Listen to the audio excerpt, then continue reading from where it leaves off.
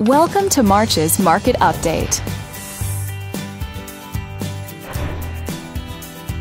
Let's take a look at residential real estate activity in your area during the month of March. The number of active listings was down 14% from one year earlier and up 6% from the previous month.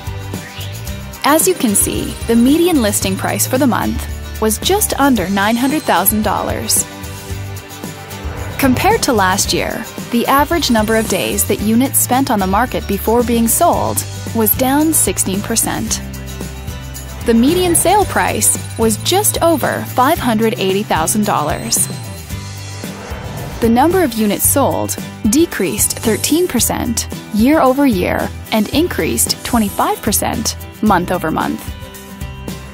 Thanks for watching. We hope you use this information to make smart, informed decisions in your upcoming real estate transactions. Feel free to contact us for more information or further assistance.